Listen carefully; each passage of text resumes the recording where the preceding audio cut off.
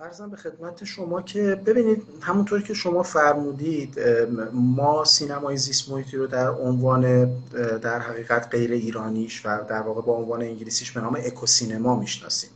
خب متاسفانه توی ایران خیلی زیاد کار نشده. من چند تا کتاب پیدا کردم. یک کتاب هم در واقع قرارداد ترجمهش رو بستم و الان در حال ترجمهش هستم در واقع سینمای زیست محیطی. خب به هر برای خود من جذاب بود. منتها اینکه من خودم با سینمای زیست محیطی در واقع به واسطه سینمای زیست محیطی آشنا نشدم. من چون به هر حال واحد در واقع نقد هنری رو چند سالی هست که در واقع در رشته‌های مختلف در دانشگاه تدریس می‌کنم ما در نقد یک شکل جدیدی از نقد داریم در واقع به عنوان نقد زیست محیطی که بسیار بسیار کلیتر هستش از آن چیزی که فقط در سینما داره اتفاق میفته یعنی ما این نقد رو در حوزه ادبیات داریم در حوزه ارزم به خدمت شما که نقاشی داریم در حوزه گرافیک داریم و حوزه های مختلف ما در واقع این نقد زیست محیطی رو پیگیری می‌کنیم. و خب عمرش هم عمر قدیمی است. یعنی نسبت به نقد سینمای زیست محیطی یا نقد زیست محیطی سینما اینها در واقع بحث بحث قدیمی تری است. آرزم به خدمت شما سینمای زیست محیطی بر اساس تعاریفی که وجود داره که این تعاریف ارزم به خدمت شما که مثلا از سالهای 2014 2015 تقریبا قوام پیدا می‌کنه و در واقع جلو میاد. به هر حال به سینمایی گفته میشه که همونطور که شما فرمودید در وهله اول به محیط زیست می‌پردازه و طبیعتا در حوزه سینمای مستند شکل می‌گیره و در واقع کارش رو شروع می‌کنه. ولی ما بعدتر یعنی هر چقدر که زمان میگذره وارد حوزه های دیگه هم میشیم. چون به هر حال این نقد سینمای زیست محیطی با سینمای زیست محیطی یا نقد زیست محیطی سینما در واقع اینا سه تا شاخه مختلف میشن که ما به اینا می‌پردازیم. خب یه بخش نقد زیست محیطی در واقع همونطور که شما فرمودید به خود اکوسینما می‌پردازه. به مباحث ارزم به خدمت شما که فیلم های زیست محیطی مثلا ما تو ایران عرضم به خدمت شما که آقای دکتر فکوهی عزیز سلام. من آره تصویرم ضد نور داره. بخوام الان جا رو عوض کنم. فکر کنم آره باید چیز کنم یعنی live رو قطع بکنم و جام رو تغییر بدم. پایین بکنید آقای شهبازی تر بشه. این چراغ بالا سرتون اگر نیفته آره. یه خورده این سخته چون من از سه‌پایه استفاده متاسفانه نمی کنم یه خورده این شیوه سنتی استفاده کنم اگه دوربین افتاد ولی دیگه بعدا.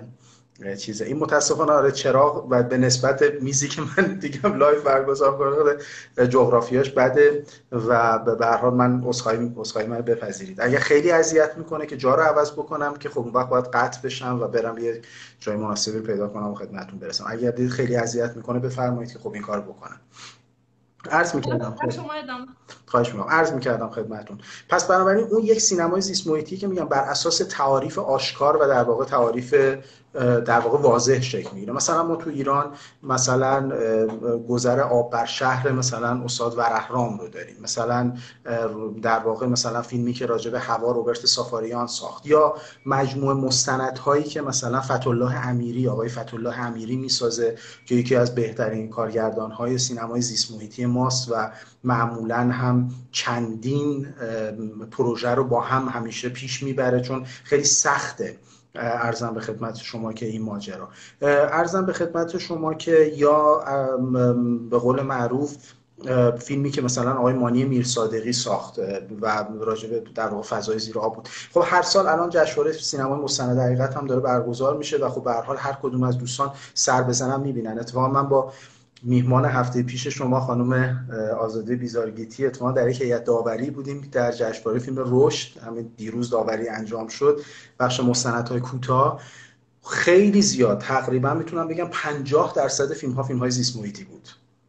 خیلی برام عجیب بود یعنی 20 فیلم انتخاب شده بود تقریبا 50 درصد مثلا 8 9 فیلم در واقع اصلا مستقیم به مسئله زیست محیط میپرداخت. این پس یک بخشه. یک بخش یک بخش در واقع سینمای مستطرتری است. یعنی که لزوما به مسئله زیست محیط نمی‌پردازه.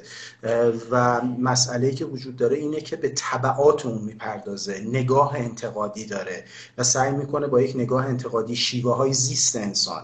یعنی اینجا زیست محیط گسترده تر میشه. حالا مثلا ما شاید بتونیم وارد حوزه بحث مثلا نشانه شناسی مکان هم بشیم که ببینیم که در واقع آن چیزی که تعاریف زیستی ما رو می‌سازه جدا از آب و هوا و درخت و جنگل و این قصه ها نحوه زیست ما چگونه است؟ من تو اون مقاله که مشق کردم و در واقع تقدیم حضور شما و دوستان کردم مثلا روی فیلم طبیعت بیجان خب طبیعت بیجان مرحوم سهراب شهید سالس آره داره توی جنگل میگذره توی فضای در واقع اتمسفر شمالی ایران ولی از خیلی اون مسئله مهم نیست. از اون عناصر استفاده کرده که نحوه زیست اون سوزنبان و دغدغه های درونیش و آن چیزی که براش اتفاق میفته رو مرحوم شهید سالس چیکار کنه؟ ارزم به خدمت شما که نشون بده.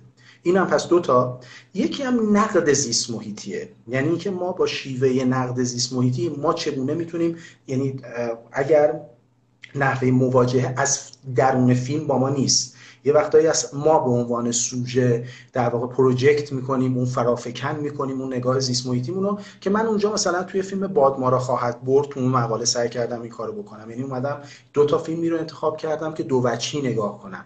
اینجاست که اتفاقا البته من اصلا این نظریه و ادعا رو ندارم و اصلا این ادعا رو در مورد خودم نمیگم. تمرینه.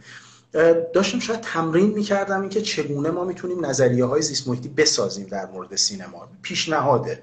نمی‌دونم موفق بودم نبودم نمی‌دونم. اونجا در واقع توی فیلم باد ما را خواهد بود من به این سمت رفتم که ما یک پیشنهادی بدیم برای ساختن در واقع نظریه های مرتبط با نقد زیست محیطی. توی اون فیلم هم اصلا محیط زیست خیلی مطرح نیست. یک روستایی یک فردی داره فوت می‌کنه یه عده رفتن اونجا منتظرن یه گزارش از فوت این آدم بگیرن.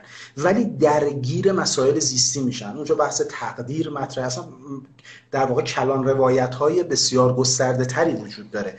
ولی در نهایت محیط زیست هم ارجح میشه. موبایل آنتن نمیده باید بره بالای کوه این مسیری که میره میاد و اینها. اینا اتفاقاتی که میشه میفته. بنابراین جمع کنم این بخش از بحث رو که خیلی طولانی صحبت نکرده باشم.